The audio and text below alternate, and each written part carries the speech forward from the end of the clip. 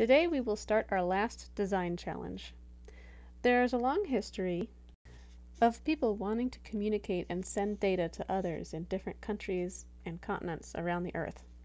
Over many millennia, information could really only be sent over long distances by transporting messages between locations by people on foot, like the 25 mile run completed according to legend by Pheidippides to announce the defeat of the Persians to the anxious Athenians, or messages transported by carrier pigeons. You can see two ways of attaching the messages to the pigeons in this message in this uh, image. And also messages transported by people riding horses like the Pony Express here in the United States. But starting in the 1840s, the first electrical system started to be used, the telegraph system.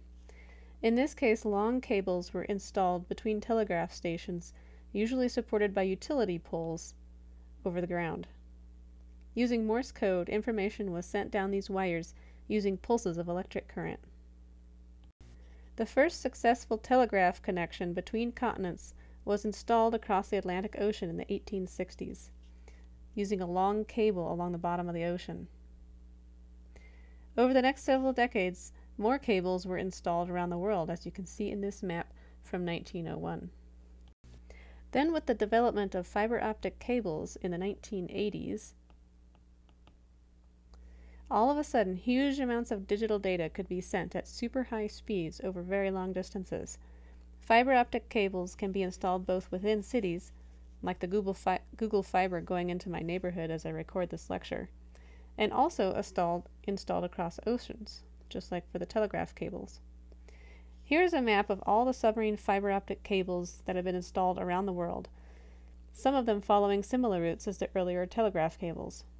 These fiber optic cables can simultaneously transport telephone, internet, and private data traffic to different continents and countries around the world. The Federated States of Micronesia, FSM for short, is an island country in Oceania. Here it is, near Papua New Guinea and Australia. FSM is comprised of 607 islands, and all of these islands are quite small.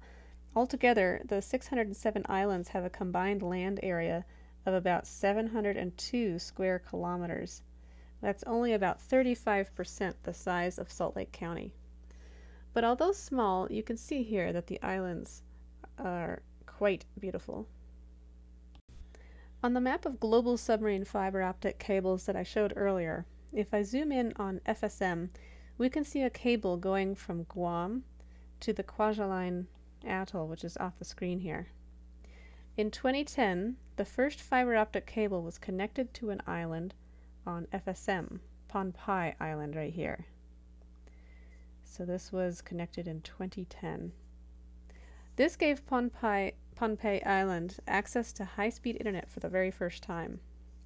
Then in April of 2019, a second island in the Federated States of Micronesia, this is Weno, or Weno Island, over here, it's in the Chuuk state of FSM, was connected to high speed internet when a submarine fiber optic cable was installed from Pohnpei to Chuuk. Getting a fiber optic cable to an island is a big deal and very expensive. But even after this is accomplished, there is still the big job of connecting all the inhabitants on the island to that internet.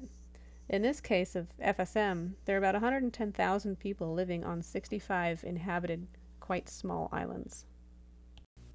For example, at this K through 8 school on Sis Island, there are about 87 kids, 5 teachers, and no computers or internet access. On top of that, most of these 87 students have never seen or touched a computer before, and only about 1% have ever used a computer. So this brings me to our last design challenge in this course. Our challenge is to design a telecommunications system that will bring internet access to remote schools in the Federated States of Micronesia for the first time. We're going to focus on connecting two specific elementary schools to the internet. The first school is on the island of Udot. It's Udot School on Udot Island. To give you an idea of the size of this island, you can actually see The two main buildings of the school, right here, these, these two right there and there. The other school we want to connect to the internet is Awak School Elementary, and that's right here with the yellow star. It's on Pohnpei Island. The main requirements for these internet connections are that they need to be affordable, reliable, repeatable, meaning we can set up many connections using the same methodology in many places throughout FSM. And we also want the internet connections to be sustainable. Take out your in-class project notebooks and spend a few minutes writing out what the problem is and how you would solve it knowing what you know today.